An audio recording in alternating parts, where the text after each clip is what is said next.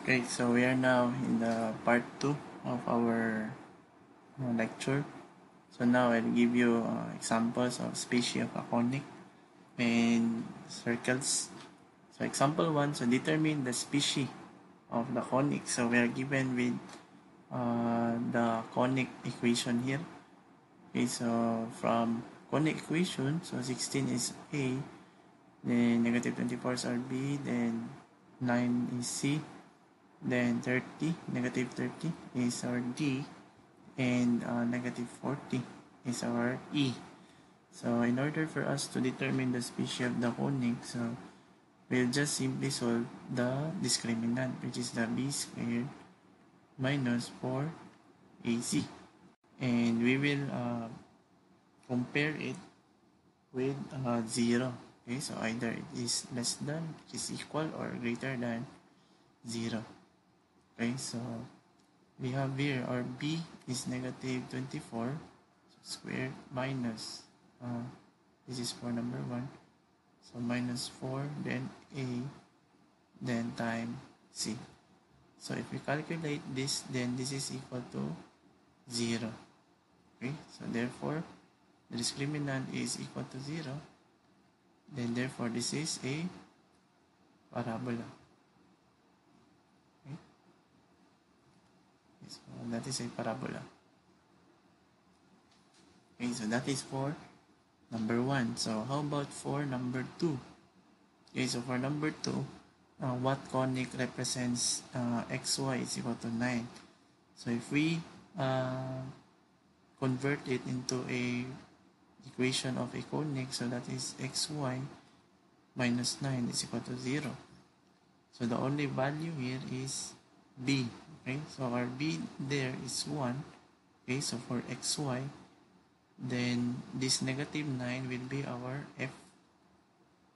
But f is not included uh, in solving the discriminant which is b squared minus 4ac so since there's no any value for a and c so that is equal to 0 so what we left here is b so that is equal to so 1. So 1 is greater than 0. Okay. So if the discriminant is greater than 0, so therefore the conic is a hyperbola.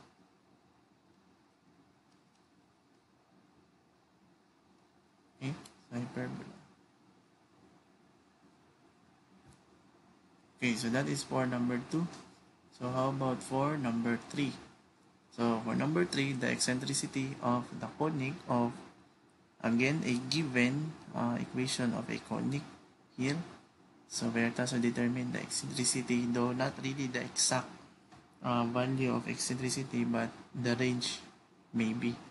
Okay, so again, uh, we have this as our A. So 8 is our A, then negative 12 is our B, then 17 is our C. So negative 80 will be our F. Okay. So again, we will be computing the discriminant. So B squared minus 4AC. So our B is negative 12 squared. Then minus 4. Then our A is 8. Then C is 17. Okay, so this is equal to negative 400. And this is less than 0. Okay, so if uh, we are tasked to determine the conic, so this conic is a ellipse. So this is an ellipse, this is an ellipse. Okay. So that is an ellipse and with eccentricity less than less than 1. Okay. So this will be our answer. So eccentricity less than 1 for number 3. Okay, so we will proceed to number 4. So number 4, find the equation of a circle with center at negative 4, negative 5, and tangent, tangent to the line 2x plus 7y minus 10 is equal to 0. Okay, so we will solve it to other slides. Okay, so for number 4, So if we draw a circle here, okay, so if we draw a circle here with center, with center which is equal to negative 4, then negative, negative 5, okay. So we have this tangent line here, okay, so say this is the point of tangency. So the equation of the line is 2x uh, plus 7y minus 10 is equal to 0.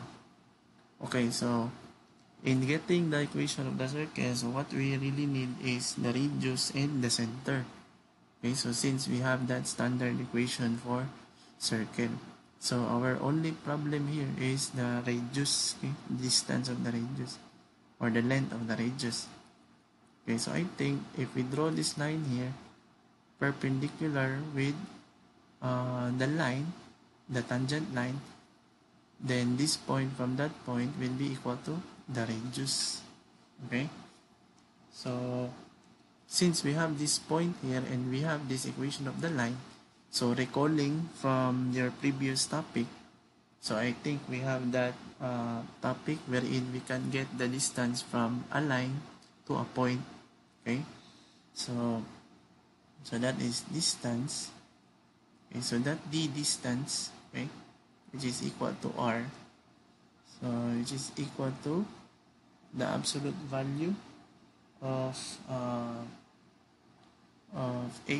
So say this is ax plus by my plus c is equal to 0. So I think that is the point there. Then this is x and this is y. Okay.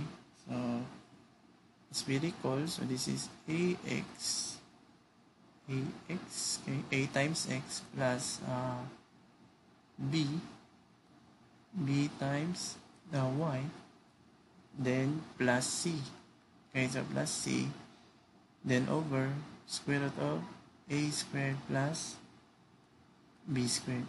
So I think that is the uh, distance formula of a point to a line. Okay.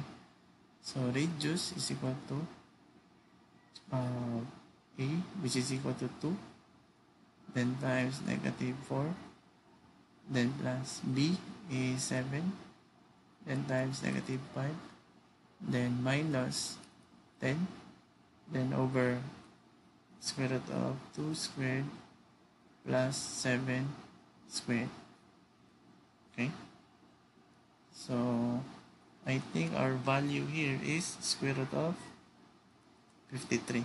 Okay, so this will be our radius. Okay, that will be our radius.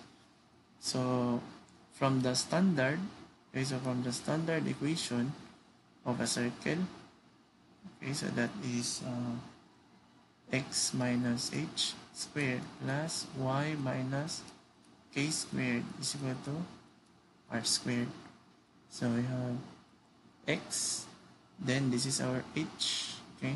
So that's, that is also our h and k.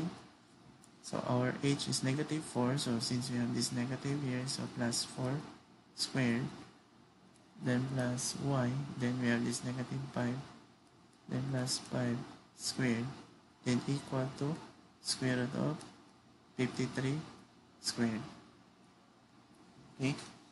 So what we will do is simplify the equation.